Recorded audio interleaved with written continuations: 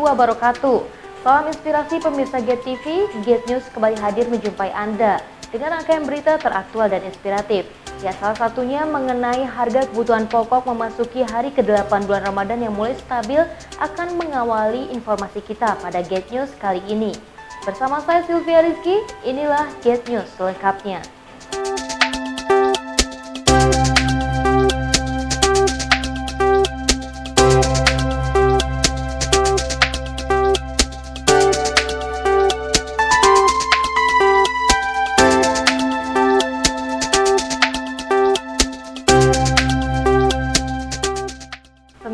Kita awali dengan informasi pertama. Harga sejumlah kebutuhan pokok memasuki hari ke-8 bulan Ramadan kini mulai stabil. Jika sebelumnya menjelang puasa, harga bahan pokok seperti daging ayam, cabai, dan bawang merah melonjak, kini sudah mulai turun. Memasuki hari ke-8 bulan Ramadan, harga kebutuhan pokok di pasaran sudah mulai stabil. Jika sebelumnya harga kebutuhan pokok seperti daging ayam di pasar Kebon Roek seharga Rp42.000 per kilogram, kini turun menjadi Rp36.000 per kilogramnya. Kepala Dinas Perdagangan Putu Seli Andayani mengatakan, kenaikan harga menjelang bulan puasa kemarin dikarenakan kepanikan dari para pedagang yang takut kehabisan stok bahan pokok. Sementara stok di Dinas Perdagangan sendiri sudah mencukupi selama bulan Ramadan. Harga cabai juga sudah turun. Harga-harga bawang juga sudah turun. Itu karena kemarin kita masih panik buying. Saya bilang jangan kita panik buying karena stoknya itu aman. Dari C42 menjadi sana 36 38. Daging ayam. Itu di kebun ruwe. Kalau telur memang telur ada ada 1600, ada 1700. Di Pulau Sumbawa harga 1800 1500. Selain daging ayam, beberapa komoditi lain seperti bawang merah dan cabai juga sudah mulai turun. Sementara untuk harga telur masih terbilang tinggi. Hal ini dikarenakan telur merupakan bahan utama yang digunakan oleh ibu-ibu untuk membuat kue sebagai makanan ringan saat berbuka puasa. Dari Mataram, Nusa Tenggara Barat, Lukmanul Hakim, Get TV. Dinas Pendidikan Provinsi Nusa Tenggara Barat kembali akan merubah lima sekolah menengah atas menjadi sekolah menengah kejuruan. Ya, perubahan status ini dilakukan untuk menciptakan siswa produktif pada bidangnya masing-masing. Mencermati persoalan pendidikan di Nusa Tenggara Barat terkait tenaga kerja produktif di bidangnya, Dinas Pendidikan Provinsi Nusa Tenggara Barat akan merubah status lima sekolah menengah atas di Nusa Tenggara Barat menjadi sekolah menengah kejuruan. Kelima SMA tersebut antara lain SMA 2 Tanjung, SMA 2 Pringgarate, SMA 1 Labuhan Badas, SMA 2 Soromandi, dan SMA 3 Langgudu. Diubahnya SMA menjadi SMK di beberapa daerah di Nusa Tenggara Barat dikarenakan pada wilayah tersebut lebih dibutuhkan SMK dibandingkan SMA. Sebab wilayah tersebut memiliki lokasi potensial seperti di Sumbawa dan Bima yang memiliki potensi pertanian, peternakan, dan kelautan sangatlah besar. Sementara Lombok Tengah dan KLU sangat berpotensi dalam hal pariwisata. Eh, kompetensi keahliannya itu memang dibutuhkan oleh dunia kerja, oleh dunia industri, dunia usaha Kenapa? Karena kita nanti 2025 itu menghadapi bonus demografi. Alasan lain perubahan status sekolah tersebut karena sekolah-sekolah ini dianggap tidak mampu bersaing dengan sekolah lain. Selain itu, untuk menciptakan tenaga kerja menengah dan dikembangkan sesuai dengan potensi lingkungan. Dari Mataram, Nusa Tenggara Barat, Emma Widiawati, Get TV. Pemirsa usulan Dinas Pendidikan Nusa Tenggara Barat tentang perubahan status SMK menjadi SMA tentunya berdampak pada guru, terutama guru honorer. Ya guru honorer di SMK Negeri 8 Mataram terpaksa harus menerima kenyataan pahit terancam kehilangan pekerjaan. Usulan Dinas Pendidikan Nusa Tenggara Barat tentang adanya perubahan pada dua SMK yang ada di Kota Mataram berdampak pada nama sekolah dan perangkat pembelajaran, namun juga media pembelajaran termasuk para guru honorer. Sebanyak delapan guru honorer di SMK Negeri 8 Mataram terpaksa harus menerima kenyataan pahit terancam kehilangan pekerjaan mereka. Teman yang swasta ini yang sudah lama mengabdi, juga kami juga sangat merasa bagaimana itu mudah-mudahan nanti ada solusi dari uh, Dikut itu sendiri nanti memberikan jalan atau apa mungkin Sementara itu, Kepala Sekolah SMK Negeri 8 Mataram, Rubianto, mengatakan pihak sekolah tidak bisa berbuat apa-apa terhadap guru honorer yang harus diberhentikan.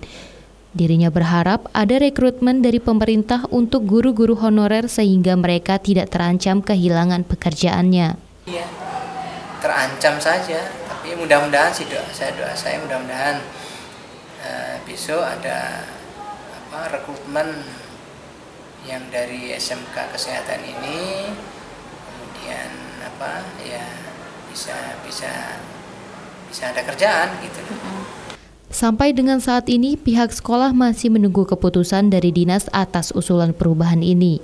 Dari Mataram, Nusa Tenggara Barat, Emma Widiawati, Get TV. Sampah tidak selamanya menjadi barang menjijikan dan mengganggu. Namun di tangan komunitas peduli lingkungan Kelurahan dalam Kecamatan Taliwang, Sumbawa Barat, sampah di lingkungan sekitar bisa disulap menjadi pupuk yang bernilai ekonomi tinggi.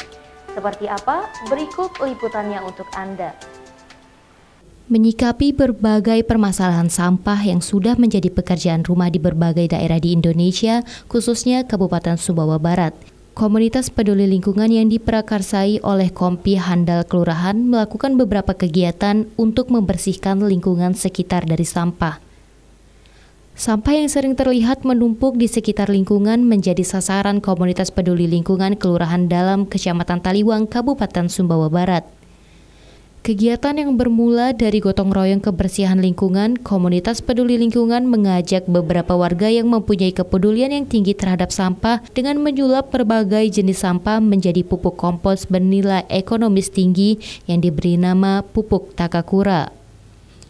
Tidak hanya untuk kebersihan lingkungan, kegiatan Kompi Handal yang sudah dimulai dari tahun 2007 bisa membantu perekonomian warga sekitar dari pengolahan sampah menjadi pupuk kompos.